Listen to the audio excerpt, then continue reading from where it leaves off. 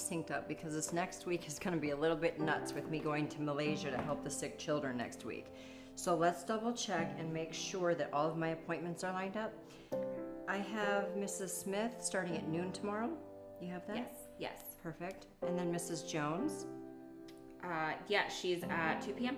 Yes. And then Mrs. Robinson. She's always a pain in the ass. But make sure she's down because Lord knows if I'm not there for her, she's going to have a panic attack.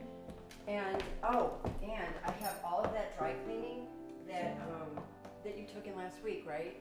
Yes, yes. I need to pick that up uh, Yes. tomorrow at 10 a.m. super super important because ooh, all my scrubs all my scrubs are there so that and you've got to get little panda from the groomer she's there today so i need you to pick her up by four o'clock can you do that At 4 o'clock? Uh, yes, yes. I can. I can go there. okay well guess that should do for now and anything else that i need in the fridge you know you know what i need Uh, yeah, yeah. I'll, I think I have a list. In i don't know what i Thank you. No, it's weird.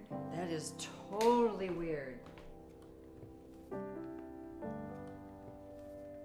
who is that